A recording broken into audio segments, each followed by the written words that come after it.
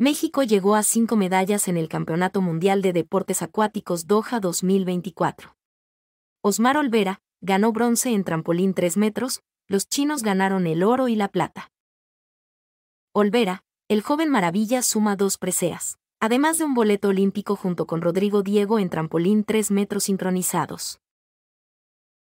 En damas, Aransta Chávez y Paola Pineda quedaron a cinco puntos de lograr el pase a París 2024, se ubicaron en la séptima posición.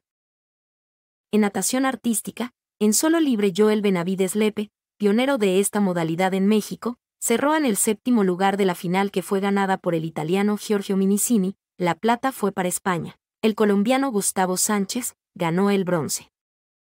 Paulo Estreque sigue mostrando su potencial en Doha, el nadador se ubicó en el top 10 de natación de aguas abiertas 5 kilómetros con tiempo de 51 minutos 36 segundos 80 centésimas.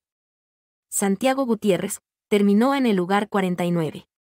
En la categoría femenil Martha Sandoval finalizó la prueba de los 5 kilómetros aguas abiertas en el lugar 21, y Carla de la Rosa en el lugar 49. Esta es la agenda para mañana, séptimo día de actividades en Doha 2024.